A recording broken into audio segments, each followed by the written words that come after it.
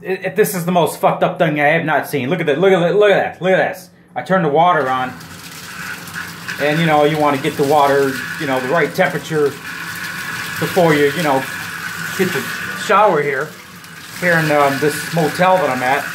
And just look at this thing. Look at it. Look at it. I can't. I can't.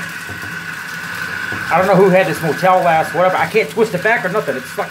It's fucking stuck there. It's good shooting this way, and it's fucking stuck there. I can't. It's like drilled. I can't move it. I can't. I can't fucking move it. You know what I'm saying? It, it's not. Who the fuck had this? What happened here last? I don't know. Anyway, that's it.